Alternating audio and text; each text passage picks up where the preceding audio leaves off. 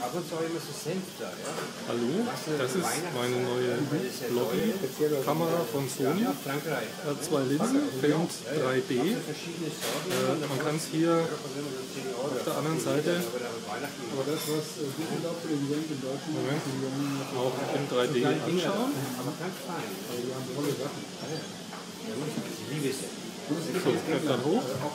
Sieht man jetzt natürlich nicht, dass es 3D ist. Ich habe vorhin schon ein bisschen was gefilmt im Bahnhof und werde das nachher gleich hochladen. Bis jetzt guter Eindruck. Einfach hier drauf drücken und filmt.